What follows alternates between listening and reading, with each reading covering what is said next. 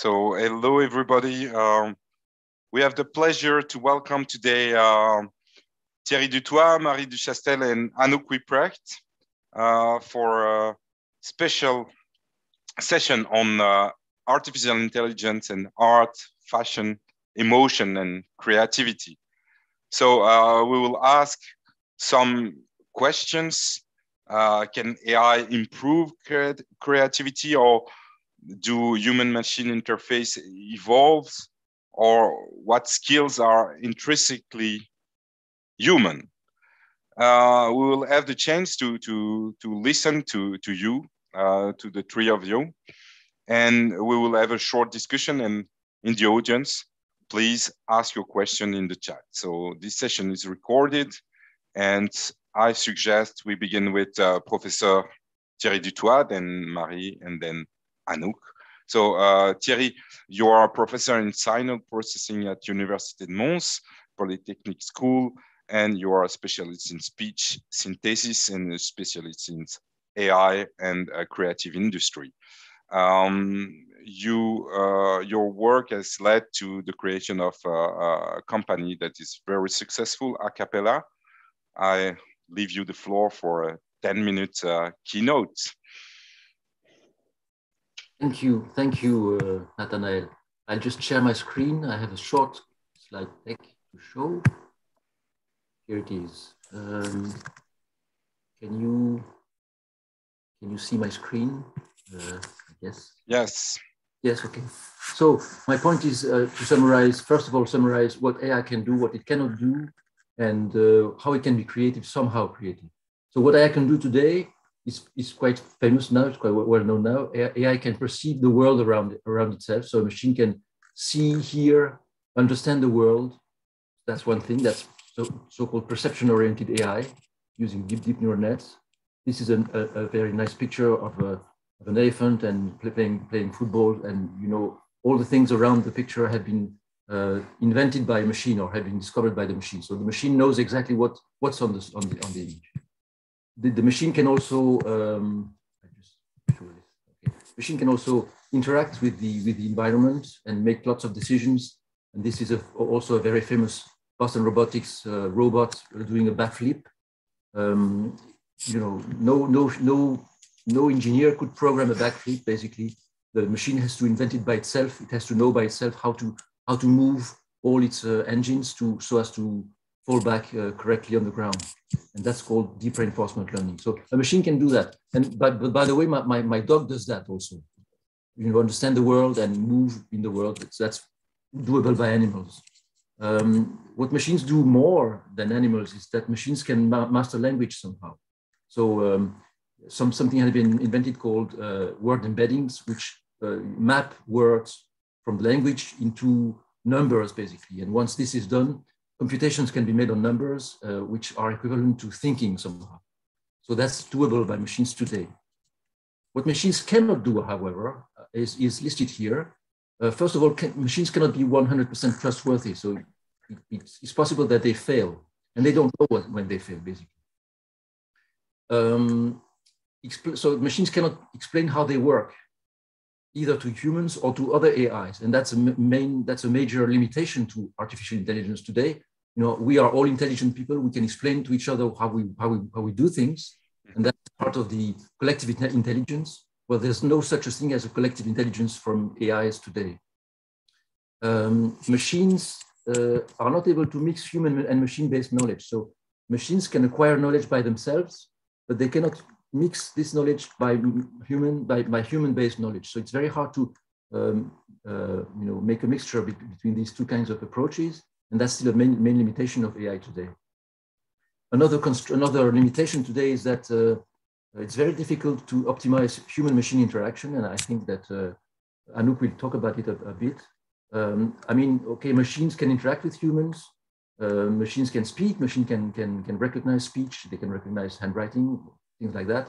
But still, it's very hard to make it feel like a human-human conversation. So there's still a big limitation there.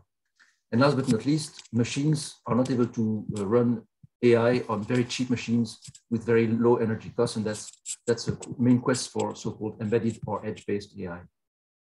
So that was a very short introduction to what machines can do, what, what machines cannot do. Mm-hmm. Um, now I, I would like to enter with just a few examples into um, what, what, how this can be used for cultural and creative industries. Uh, my point, my main, my main point here will be that uh, artificial intelligence can be used to enhance creativity from humans, at least in two, in two ways, by assisting production and by assisting creation. And I'll just give you a few examples. And I think that Marie Duchastel will also give examples in the next talk. Um, so assisted production first. So how can machine uh, machines help making things uh, uh, real? I mean, you know, going from the idea of the creator to the real thing that is shown to the audience. There are very famous examples like this is a, a, a video from uh, University of Illinois. Um, I don't want to show the whole video, but you can see here that these cartoons here have been made completely uh, by machines. So the machine has received the script from the cartoon and it has created the cartoon completely from, from scratch. After, of course, digesting a lots of uh, videos from, from the, uh, the Flintstones. So it's, it's possible from a machine to go from script to, to images. And that's what I call smart instruments somehow. So machines can be used as smart, smart instruments. It's also possible to do the same thing um, in terms of machine uh, uh, music composition or music.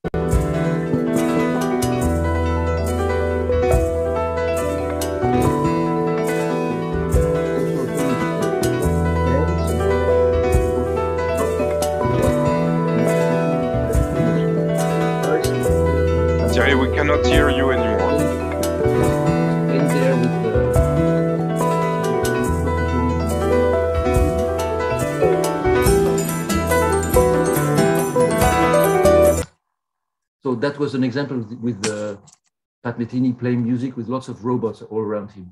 This is another example. I don't, I don't want to go into that example because I, I think the sound will be mixed a bit. But this is a, um, a PhD student of mine who is playing on a tablet and he's using speech synthesis to play to play music. So for, for the past years, a lot of smart instruments have appeared and, and, they can be used to help production of music, but not only music. I mean, music, you know, design, uh, architecture, uh, cartoons, uh, animations, and things like that. This, this example I show you because it's uh, one of our major Belgian stars, Stromae, and this short video shows how Stromae has used artificial intelligence from, coming from uh, Sony Computer Science Lab to, to create one of his songs.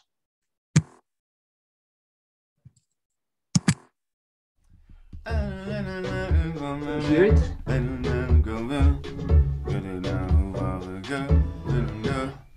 C'est le même passage contre la musique organique et la musique électronique, quoi. Ou la composition électronique. Enfin, c'est une espèce de gap. Euh, c'est ouf, demain, c'est sûr qu'on fera, on fera tous de la musique comme ça, en fait. Et peut-être qu'il faut partir ailleurs, en fait, au lieu de le répéter. en fait, elle est pas si mal la répétition. Peut-être que j'abuse, mais peut-être qu'il faut déjà amener celui-là dans la réponse ici. ça monte là.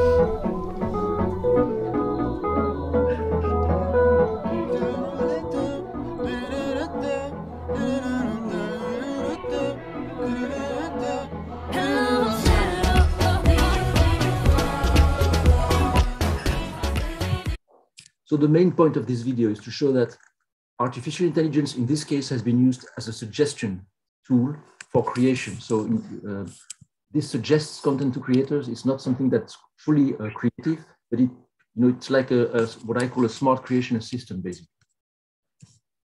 Um, the same, the same idea can be used to create, for instance, to create a cartoon, to create, sorry, to create avatars from real people. So you can take the of a person and uh, use a machine to create 3D avatars automatically uh, using that, uh, that, that photograph. And that again is something that's related to creation somehow. It's a, it's a creation assistant. It would take a lot of time to, to any human being to create that avatar. Um, this is a, a, a, final example using a robot. So this is very different from the robots that I've shown with Pat Metheny a few minutes ago. Uh, this, is a, this is called Shimon uh, the Robot Musician. It's a robot which listens to, to music and which interacts with music. So basically, this robot is a jazz music player. He can really do a jazz improvisation.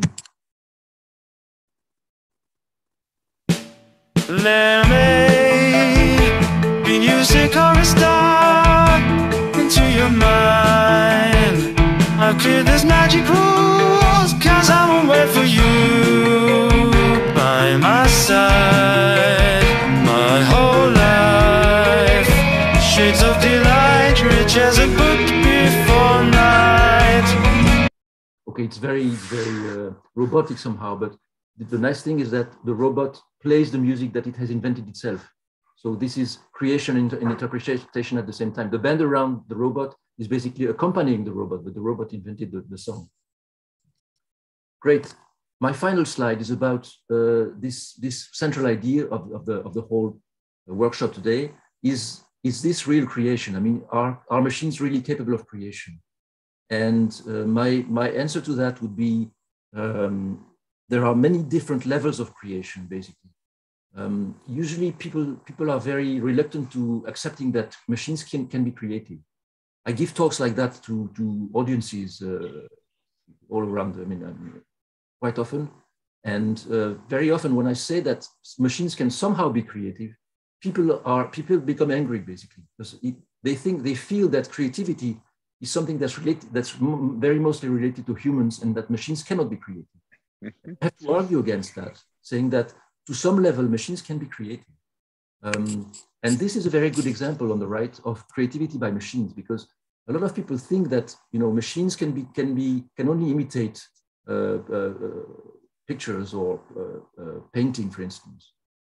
it's clear that if you if you provide tens of paintings from the you know the the, the the, the 18th century to a machine, the machine will be able to reproduce something that's close to that. But it's also clear that uh, because, because of research that, have been, that had started as early as 2017, it's clear that today we have machines that are all, also capable of uh, moving away from existing styles. So the machines can examine the, in, the input uh, pictures and create, create paintings that, that follow none of the existing styles, basically. So somehow machines can be, can be programmed to, to create new styles and to, so that's what I call some level of, of creativity. Of course, it doesn't mean that machines have uh, emotions. It doesn't mean that machines are driven by emotions, but at least they can sort of, you know, feel what is existing and then try to try to produce something that's out of the box somehow. And that out of the box thing, I call it creativity somehow. Okay, so that, that was my take on, on uh, AI and creativity. I, I, I thank you for your listening. I, be happy to answer Thank you, questions. thank you very much, Thierry. Uh, so we will come back to that uh, because uh, I think it will be very interesting to to have a debate on that. So, um, Marie, it is now your turn. So you are uh, an art curator and expert in digital and media art. You are famous because you you curate the KIKK Festival. Um, and uh, in in Namur with uh, more than three and uh, three, three, uh, 30 30,000 people um, every year. Um, so can you show us many examples of uh, use of AI uh, in the artistic world? Yes, uh, thank you, Nathanael. Uh, so you already already presented me, so uh, just uh, a few words more about it. Uh, so I'm the curator of a nonprofit organization called KIKK. Uh, we are based in Namur, in Wallonia, in the French-speaking part of Belgium, and we are running this yearly festival. We are also co-running TRAKK, the Creative Hub and Fab Lab of Namur uh, an artistic production platform, and also a new exhibition space called Le Pavillon, exploring the crossovers between art, science, technology, and society. And last year, um, I curated the first exhibition of this new uh, exhibition space, uh, and it was called Humans Machines, exploring uh, our relationship with machines through two main topics, uh, robotics and artificial intelligence. And so this exhibition uh, raised a few questions uh, related uh, to the relationship between humans, uh, artificial intelligence, uh, and creativity. Because quite often we have this idea that machines are um, Mm -hmm. going to replace human beings or quite often there is this uh, image of terminator machines that are taking our jobs or taking even the role of an artist. And the idea was to a bit um, uh, uh, deconstruct this idea and show that actually uh, when artists are using artificial intelligence, um, there is really uh, the role of the artist uh, is much more important uh, than the, the actual algorithm creating the, the artistic output. So to demonstrate that, I'm gonna show a few examples uh, that are showing it quite well. So this is one of the work that we showed last year. it's by a British artist, Anna Ridler. Um, so basically what you are seeing on this image here is the data set she used uh, to train her artificial intelligence algorithm, which uh, purpose was to create uh, new types of tulips.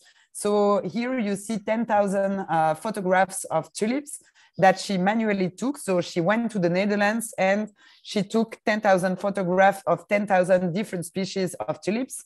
Um, and you can see on those pictures that uh, they are each framed exactly in the same way with um, the same lighting on each of the picture and um, uh, and yeah and with uh, with this dark dark background uh, on each of the pictures and the way she took the pictures enabled uh, to have a really sleek, sleek and nice uh, result. So she used those 10,000 pictures to, um, uh, to train an artificial intelligence algorithm to create new species of uh, tulips. So what you are seeing here are uh, species of tulips that don't exist.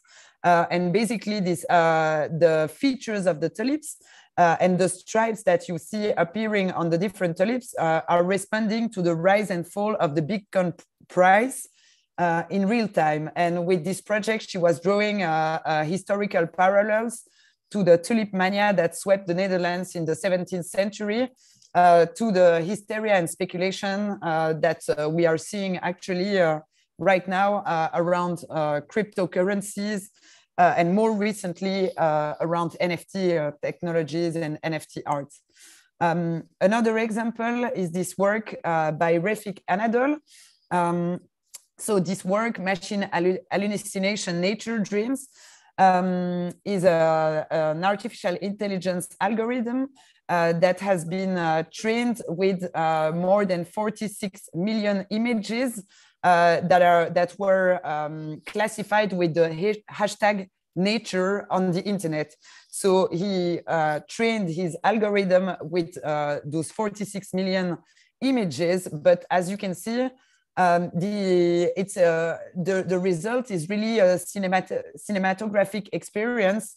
Uh, the images are really beautiful because um, he just he didn't only uh, fed the pictures to the algorithm, but he uh, trained the algorithm to uh, have the nicest result and added a lot of uh, texture and polished graphics on to the uh, the result that was um, that was given by uh, the AI.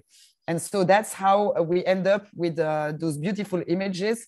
Um, and they look, if you're used to see, you know, algorithm um, creating new types of images just by random uh, images that were fed to the algorithm, you never have such a, an aesthetic result. Another example is this project uh, by uh, Mario Klingemann, who is a German artist who works a lot with uh, artificial intelligence. Uh, in this project, he trained his AI model using thousands of portraits ranging from the 17th to the 19th centuries. And um, to be able to train the algorithm uh, in an easy way, he created a Tinder-like application to speed up the learning process and to teach the machine its own aesthetic preferences influenced by uh, surrealist figures such as Max Ernst. So really he was like swiping left or right, uh, depending on the output that uh, the algorithm would give um, to end up with those results of uh, images. Uh, so basically those are two uh, screens with morphing images of portraits uh, that were inspired by uh, classical paintings uh, uh, between those centuries. Um, and that's what gives this, uh, this really aesthetic result that really looks like those 17th century portraits. AI is also used in the design and architectural world. So here I'm going to show two examples to show that. Um, so here the two designers have used um, the software that was made by uh, Autodesk, enabling uh, to, to create some designs. Um, and so basically they gave the algorithms uh, some constraints about the weight capacity, the seat height, and also the style in which uh, the algorithm should create uh, a, a, chair.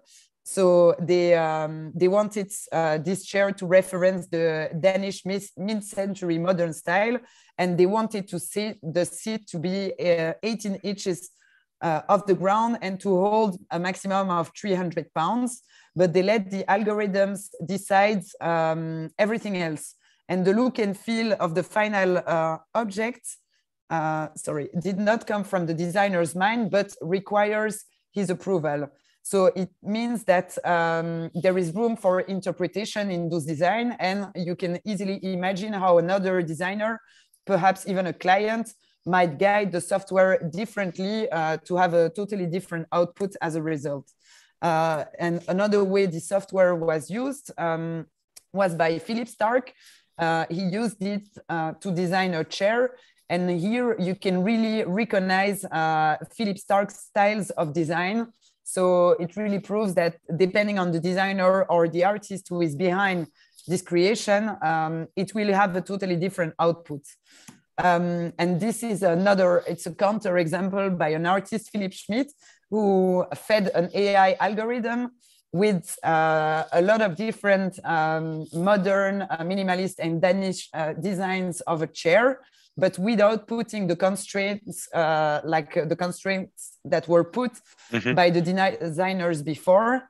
And so you see here, here that um, uh, basically uh, you end up with some chairs on which it's impossible to sit, but you can easily recognize the design and where the inspiration was taken from.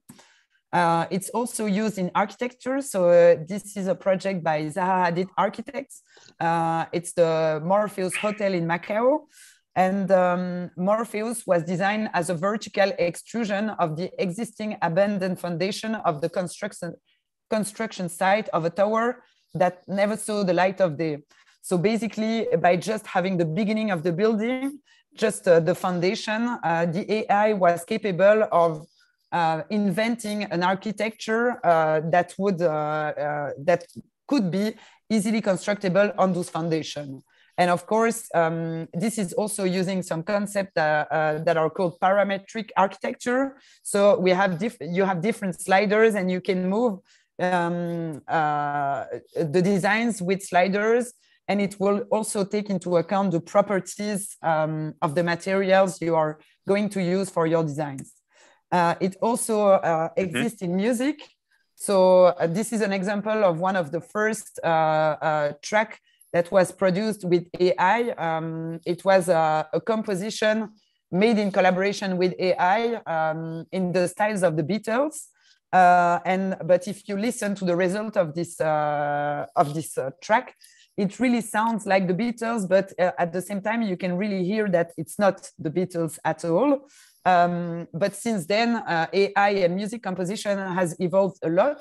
Uh, so there is a famous electronic artist uh, called uh, Holly Herndon who produced an entirely an entire album uh, in collaboration with AI um, by recording voices of choirs, uh, and then um, she fed the, the AI with those choirs, and she created a lot of the vocals of her album with AI. Um, and now uh, there are a lot more uh, artists that are using AI just more as a collaborator uh, in the creation mu of music, like uh, uh, the example that we saw earlier with Stromae, rather than the AI completely creating um, a track. Um, I'm going to skip a few uh, slides because I see it's my presentation is already too long, but a lot of artists also are using AI to um, to criticize or raise awareness about the dangers uh, or about um, the, uh, the, the point of attention that uh, uh, we should look into when we are developing AI. So this is a project showing how we can easily uh, use the deepfake technology to um, to basically uh, speak with the voice and the the, the face of somebody else. This is another project that is using it's an AI that is uh, um, combining different news Mm-hmm. headlines to create new types of headlines uh, that sometimes make sense and sometimes that don't don't make sense at all.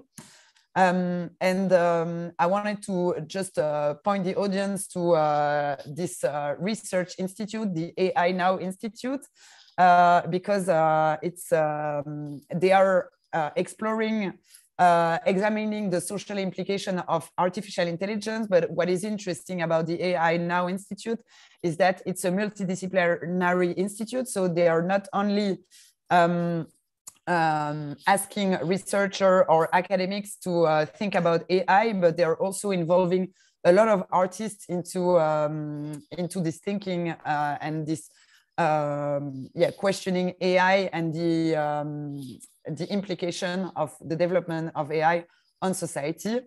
Um, so if uh, you have some time, go to check this um, this text excavating AI that they they have written. It's really interesting and uh, i'm gonna i'm gonna finish there but basically uh, just to say that a lot of artists working with ai are also of course raising questions about uh, sometimes the issues uh, related to ai like biases and discrimination um, thank you for listening Uh, Thank you very much, Marie. Um, so it was a, a broad overview of what we can do. Uh, many thanks for that. And and and now we have the pleasure to to have Anouk. Uh, you are a fashion tech designer, so you are an artist huh? from the Netherlands, uh, living in the US. Uh, you combine fashion and technology, so you are also engineer in some way, using AI, machine learning in your design uh, with sensor microcontroller. So can you tell us a bit about your production in the last months and, and years? Um, Uh, yes, that's me. Share my screen. Yeah, thank you so much for the introduction, and uh, good to see uh, everybody here and Marie as well. I was in um, I was a presenting artist at KIKK Festival a few years ago, and it was really much fun. Um, so yeah, uh, and thank you, Nathaniel, uh, for again uh, inviting me in here. I am a designer that works with uh, yeah fashion and robotics and uh, technology. So part of the things that uh, I deal with is uh, using uh, things like uh, artificial intelligence, machine learning, deep learning, and so on. So I'm gonna share a few projects of mine and um, yeah talk also from the uh, technological side a little bit what you look uh, what you need to look at when you're working with uh, basically putting technologies on the body in order to uh, to yeah um, use either the data from the body or from the um, the, the world around you. Um, you can find me online if you have questions afterwards under my name so one of the uh, interesting things for me is that fashion is something that we can express ourselves with and that we can uh, basically tell something uh, about ourselves in a certain way. And i got really interested in that in uh, yeah working with uh, with fashion and combining that with technology because um, i was really obsessed with robotics. And for me the robots are the the brains and the heartbeat uh, that i want my gar- garments to have. So 20 years ago i started to combine in the beginning of 2000 i started to combine fashion and technology one of the things that I look at is the body itself, and I'm going to tell something about that, but Mhm. also the world around the body. So what I look at, for example, are uh, is data from uh, around the uh, body. You can think of the intimate, the personal, the social, and the public space, and these are all spaces that we have around us. Uh, this is based on the proxemics theory of Edward T. Hall. In the 60s, he discovered that people have personal spaces. So um, he was measuring that data using a stick, a wooden stick. And I took his data and I'm using um, sensors. I'm using proximity sensors and ultrasonic rangefinders in order to put this um, his proxemics theory in the system and let it um, calculate some things. So how that works out is, uh, for example, with my spider dress. So the spider dress works with ultrasonic uh, rangefinders and it works with certain constraints. So the constraints of these spaces that I just showed you, and also the ultrasonic rangefinders measure 25 feet. So uh, that uh, data is fed in the system, and whenever the system detects somebody in a personal space, it um, analyzes and it reacts. And it reacts in something that I call 12 states of behavior, because if something uh, would only react in one way, it would be super boring, right? So uh, not only it, it, takes in consideration where the people are in the space, uh, also how far they walk up to the design, and then it lingers into one of those states. So from a more elegant, more densy state to a very aggressive grasp. So the more and the closer you come to this design, the more aggressively it becomes. So um, here you can see a little uh, movie of that. So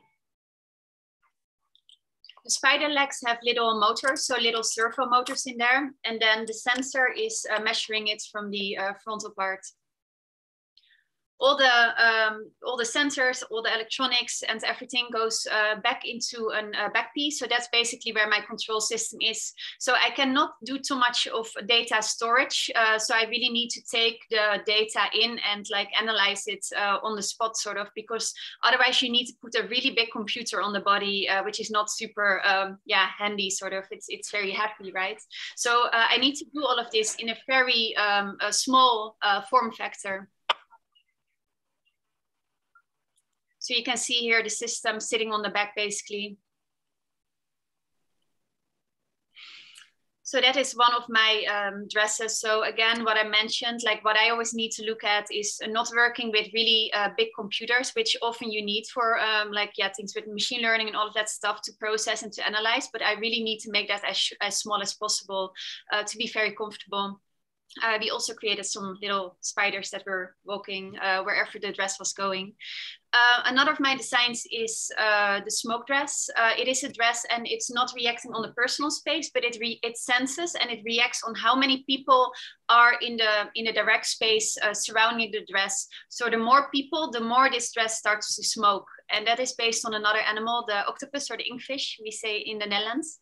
And uh, yeah, so this dress uh, is measuring the amount of people in the direct space around the dress and it starts to smoke. Um, the dress is 3D printed and the smoke goes basically in the hip, hip area and is then being pushed out. So I'm using a lot of uh, 3D printers uh, for these dresses. And here you can see a little um, yeah, uh, image of how the, how the smoke comes out. So most of my dresses, uh, yeah, react. Uh, they react on sort of behavioral elements that you can see also from animals and from nature. So it's a little bit like a part um, behavioral research and a part biomimicry.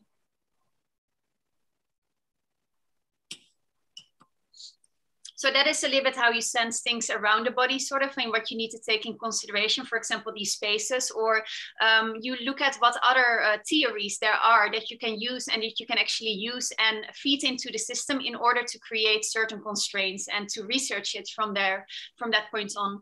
Um, uh, a little bit more difficult it becomes when you actually connect the body uh, to a design or to a system. So you can think of the brain, um, uh, uh EEG, brain signals, pulse, uh, EMG, so muscle contraction, uh, EDA, galvanic skin response, respiration, the way we breathe, um, accelerometers, um, heart rate, temperature, oxygen. So there's a lot of fun ways that you can sense the body.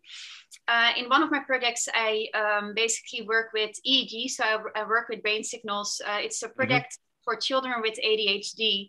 And what I tried to um, yeah, detect was their level of focus. And when uh, their level of focus was high, a little camera in the design goes on and it uh, measures um, everything around them. So it basically records why their focus is going up, sort of.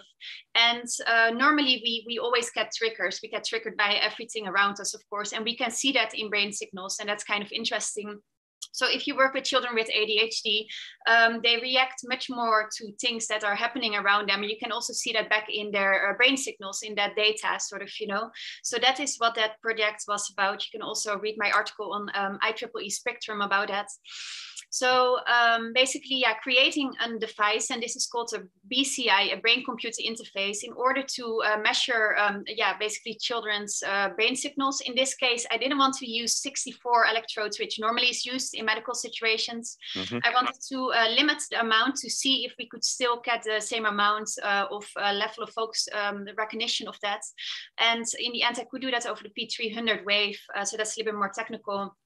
Uh, but by the limitation of these um, amount of electrodes, only to um, eight electrodes, uh, we could uh, measure the focus. So that was easier to put into a headset like this. So the headset, when you work with it, it looks like this. In a museum, it looks like that. Um, and actually, it was a very successful kind of project. And then uh, with the company that I was working with, we also brought it out as an uh, BCI, so brain-computer interface that mm-hmm. people can work with in from a medical site instead of a commercial site. so it's really working around this idea of using the P3 wave in there. So it's called the Unicorn BI. We also do um, hackathons with that. Uh, so if you're interested, they are starting again in Europe.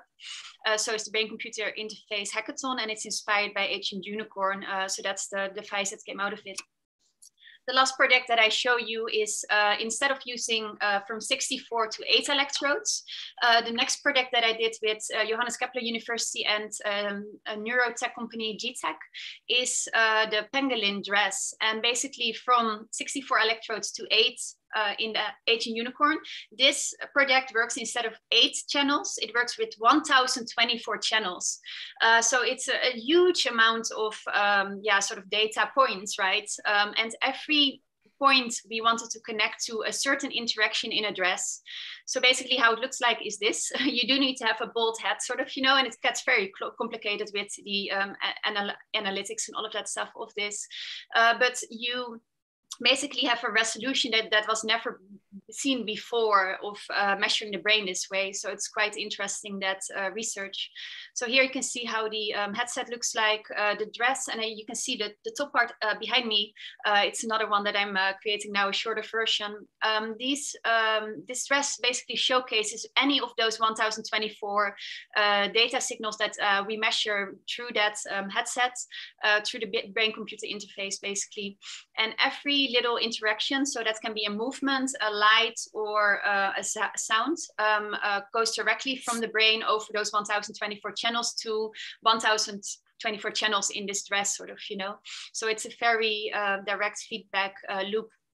So basically, what I try to do with my uh, work is um, raise the question if and when we put technology on the body what does it do? So um, how can it become more social or playful like Ancient Unicorn right? Creating a new kind of uh, brain interface that we can work with kids for example. How can it mo- become more defensive and behavioral like the spider dress measuring personal space for example or how can it become more expressive and emotive like uh, for example the um, the smoke dust so i basically create the science as case studies and then i start to research these uh, case studies based on the created designs and seeing fashion really as an interface the last thing that I want to say is what I mentioned before. Um, if you're doing anything with deep learning, machine learning, artificial intelligence, um, normally we mm-hmm. used to have these really big computers that you need to uh, work with basically. And uh, nowadays there's much more uh, computer boards and things that are uh, much better for that. So this is the tiny ml it's a development platform for machine learning and it can run on a, a really small low powered device basically if you use the tiny ml uh, language.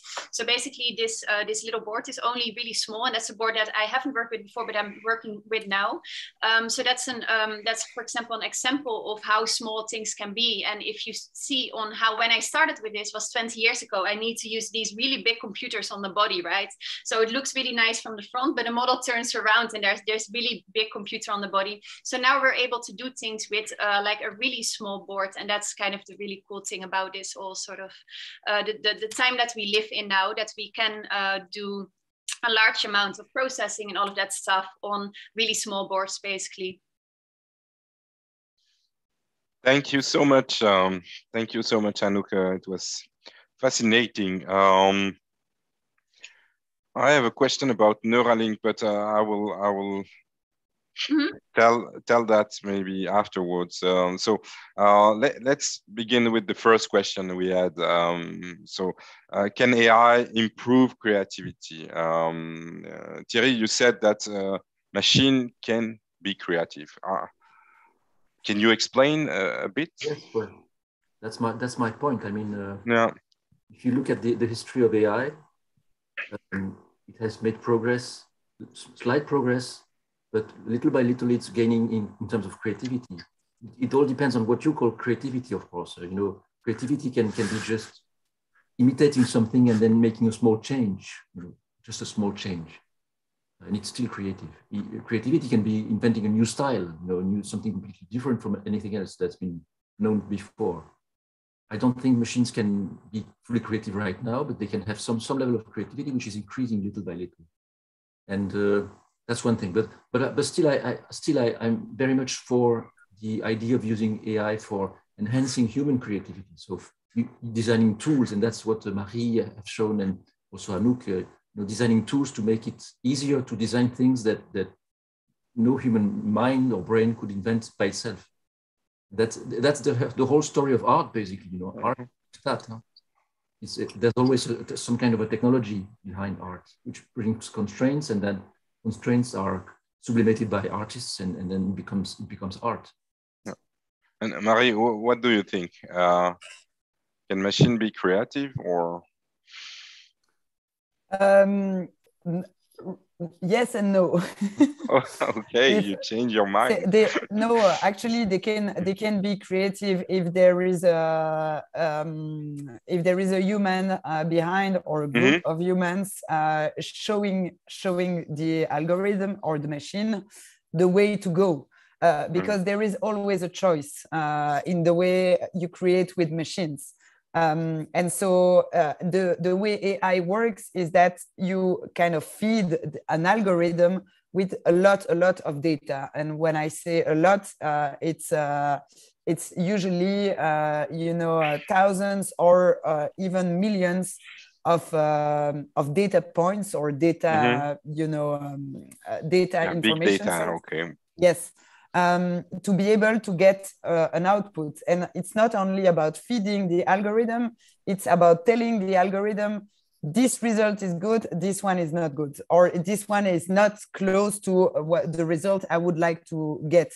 Um, and so, and you need to do that uh, um, uh, at several stages and to kind of improve the algorithm. So it's not like our own learning, you know, in, in which we kind of repeat and look at the world and then uh, we are able to uh, to uh, get inspired by what we see and then we give an output this is uh, uh, much more uh, calculation in a way um, and and much more training -huh. and and so basically depending on the human who is behind uh, the training of the algorithm, you will get totally different results. And so sometimes the AI would uh, output some really interesting results. And sometimes if you haven't trained it in, a, in the right way or in a right way, uh, it will not be creative and, and you won't get uh, satisfying results. So really, I don't think it's a matter of, you know, uh, can the AI be creative or not? It's a matter of the choices you make while you are training this algorithm. And it's interesting because there is an example in music. There is this mm. band, uh, US band called Yacht. Um, they did a, an album um, that uh, that was entirely created in collaboration with an AI. And first, uh, the first, uh, you know, um, move they had to uh, try to get some uh, result with their AI was to feed the AI with their entire catalog of music to try to see what the AI was going to create. And they were really unhappy with the results because music is really sensitive and it's about uh, the moment and it's about also the errors that you are making when you are uh, you know um, uh, playing music you're not entirely perfect uh, when you are playing music you know? There is always a latency uh, and it's it's very um, physical in a way. And so um, when so the the ai was trying to kind of simulate or, or replicate their music but uh, it wasn't interesting at all from an artistic point of view in their mind. And so what they took were, were only the weirdest part uh, uh, of the AI, you know, the part that were really not uh, resembling any human intervention or any human instruments. And they tried and they started creating the music with those super weird parts uh, and it ended up uh, creating a super interesting uh, album musically speaking because of this weirdness in the music. And so but it was their choice you know to took those weird uh, to take those weird par- parts. So it's a good example i think uh, to show that it's it's only a matter of choices like also um, you know a painter uh, if you choose the the uh, the choice of your uh, brush, of your strokes, uh, of your paint would totally have a di different result. And it's exactly the same mm -hmm. thing with AI.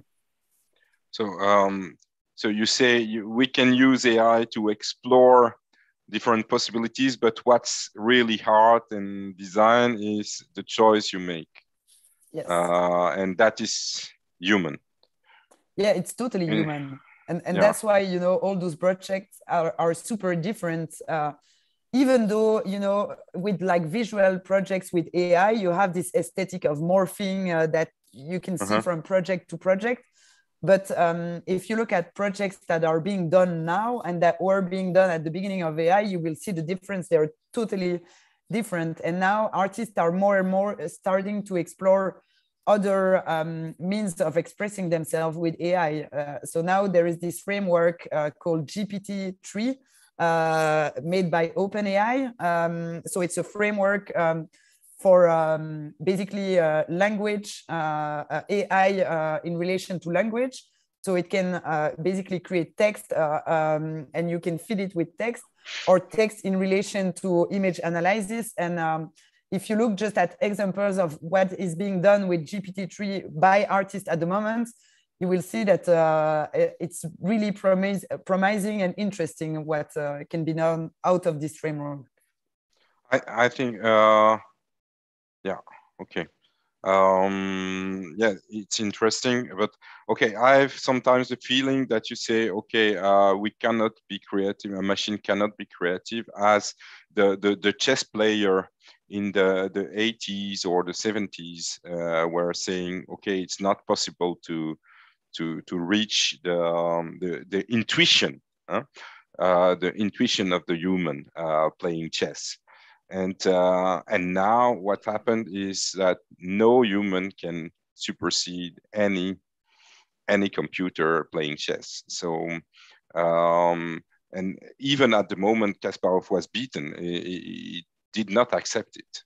Um, so do you think it's possible? What is the difference between art and maybe chess? Because um, so of, course there there is some part of intuition in in the way uh, chess players are playing chess, but chess is uh, still a lot of uh, mathematical possibilities uh, and a, a, lot of mathematical outputs. And so by looking at even the, the way chess players uh, play chess, uh, the AI is, is still in a way capable of imitating this way of playing and, and, and outputting creative results in a way. If you, I mean, creative is, uh, is a word that I put into brackets uh, when I say that because um, it's still, uh, you know, um, analyzing mathematical possibilities and, and mathematical outputs depending on a, on a move uh, uh, uh, on a chessboard. But if you look at music production, for example, um, it, really depends on how, uh, like, if you record, uh, if you ask the AI, for example, to like improvise with yourself uh, live, it means that what you're doing as a human right now, you know, the AI will respond to it differently. And you cannot plan any um, uh, output in advance. Uh, and in the chess game, you, uh, you know, by uh, moving one, uh, um, you know, one of the, the, the, players on the board, you can calculate all the different possibilities. The AI is able to calculate all the different possibilities where the game could evolve in a way it cannot do that uh, you know with artistic choices there is okay, okay. Always this choice so I, I don't think we're near uh, you know uh, a, a, type of creativity that would be similar to what artists are able to create I think okay. I think uh, that was um, exactly the the, the same uh, statement that the, the chess player did uh, before, and what, we see now, for example, in Go, or is that uh, there is a style that we learn from the machine. Um, something uh, we, we observe how the machine does. It's not purely, uh, would say, mathematical approach. It's uh, we, we define a style, we, we another way to play, but um, okay, it's still open. It's not uh, black and white. Um, maybe Anouk, uh, it was uh, fascinating. We, you talk about uh, human-machine interface and how do you see it in the future? And uh, can you tell a bit uh, what what you have in mind with the works of Neuralink, for example? um, wh what is the difference and then what are the yeah, um, yeah. Like how does uh, human machine interfaces evolve? Um, of course, what I like to see is more wearable uh, HMIs. So uh, wearable human interface, human machine interfaces. So one of the things that I talked about was the BCI, so the brain computer interface, in where you can work with uh, neurofeedback and work with brain signals and all of that stuff. I think it's really interesting. Um, there's a few ways to approach that. The things that I do are all hosted on the body or hosted on the head right? So uh, almost like exoskeletons. Uh, if you're talking about Neuralink, what Elon Musk is doing with the company, um, they are a little bit more invasive. It goes really in the head, sort of, you know, so you get almost like a lot of holes in the head. The cool thing about that versus the things that you have to rest on the head is that you have an, uh, a direct connection to the brain, right? So if you have anything hosted on the head, it needs to go through the scalp, the bone, uh, like a lot of fluids, and then it reaches the brain. So he has a direct connection to the head. And I think where I'm using uh, in the latest project 1024 channels, I believe he he uses uses um, and and don't point me on it 3700 channels right? So it's not only that he has a direct connection uh, to to like the brain sort of more direct connection but he also uses uh, much more uh, uh much more channels. And because of that of course you get a better resolution right? But um, then it's always the question like do you want to have a head full with holes in it right? So sometimes I like the things that can be hosted up on the body even if we um, have a little bit less resolution uh, that's something that you can always work towards but it's a little bit less invasive that way, right? Um, uh, if, if it's uh, uh used other than medical, uh, if it's used for research and all of that stuff, I think, and I believe that uh, seeing these interfaces more as exoskeletons hosted on the body is more interesting and I think like yeah, mm-hmm. using, using wearable uh, human uh, machine interfaces uh, for me it's really interesting because other than working with a, a rather big data set or an, a, a, a, data sets to work with, once you put something on the body, it actually starts to learn from the body. So you can see in the beginning the body and the interface are not used to each other. You can see that in data, and in this case, the dress, right? The dress is really misbehaving. But the more the, the device is hosted on the body the more it learns from the human and the human learns from uh, the machine sort of and that's really the interesting thing about uh, wearable uh, like yeah, yeah sort of human machine interfaces that they can learn from each other as you grow and especially if you're working with moods and behaviors and attitudes and, and personalities and all of that stuff it's really interesting uh, that data what you actually get back back from it mm-hmm. do you think we learn to uh, express emotions, for example, in another way, to behave in another way because we have this feedback?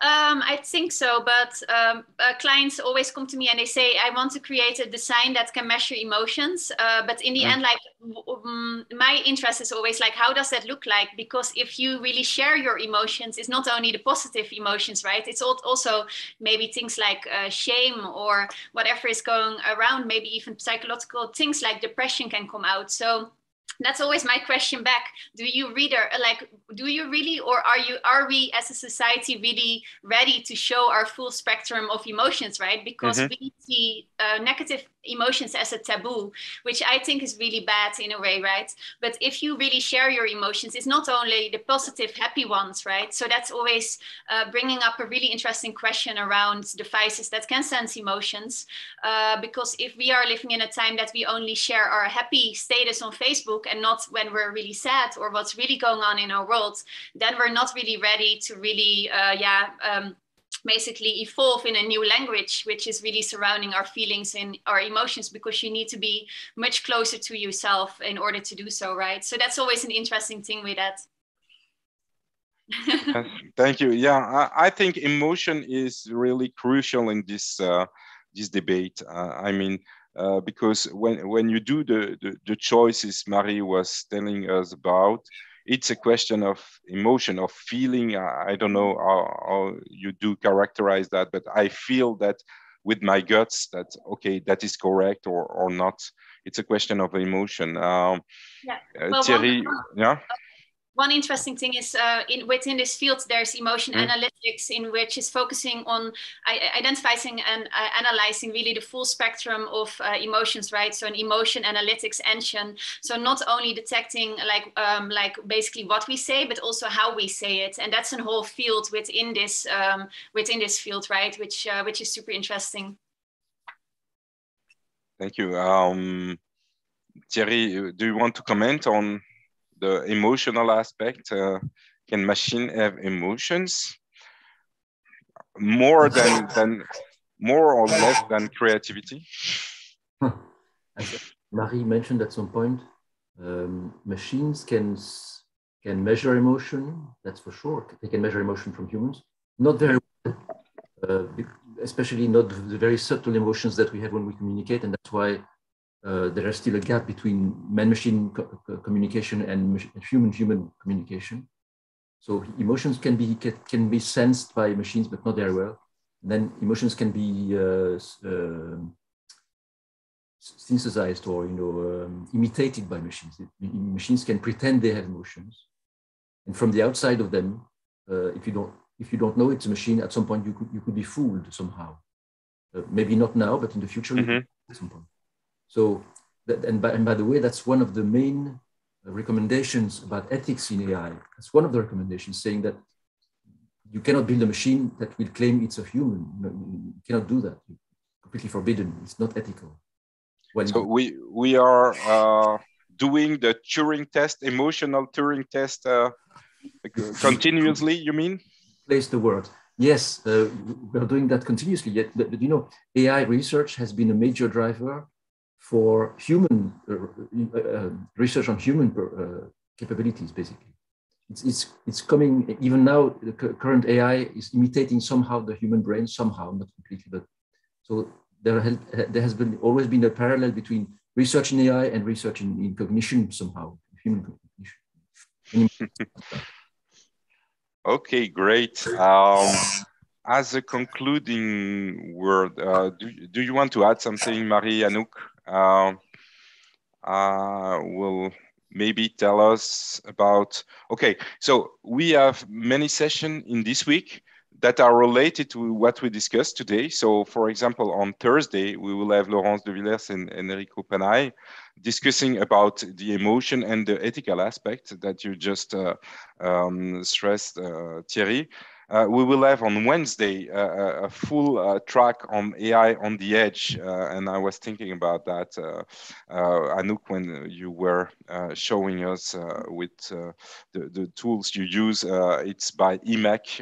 it was organized by Steven Latré, Peter Links, Axel Nackaerts. Will be passionating.